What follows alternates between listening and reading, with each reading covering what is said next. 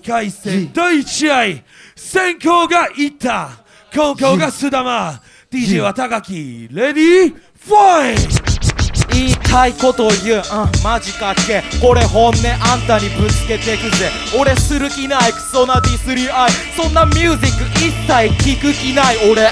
そういうことあんたと目と目合わせどこまでだっていける気がするぜ。つまり俺たちはこのブラックミュージック俺単純にマジラップが好きうん、お前は一回攻めいてどこをごまかして。クソみたいないきなリスナーをごまかしてる。お前に票はねえぞ。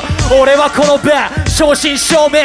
お前になんて負けるはずねえ。お前はサイファーで磨いたキーパーこちとら現場で磨いたキーパーヒップホップの根源知ってっか？ライムフローこの精神大事にしな。わかる小手先？これが俺なり。ライムリボルバー捉えてるこめかみ。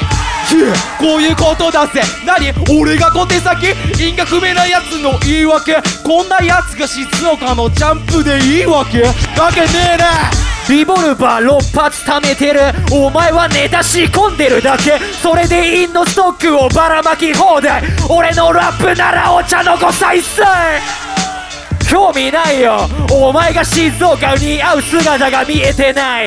ああ俺は夢物語じゃねえ。リアル見つめてんだよ。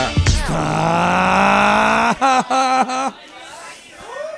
やばいっすね2回戦一気にレベルが上がりましただからこそこのジャッジ皆の腕の見せ所なんで魂のジャッジよろしくお願いします。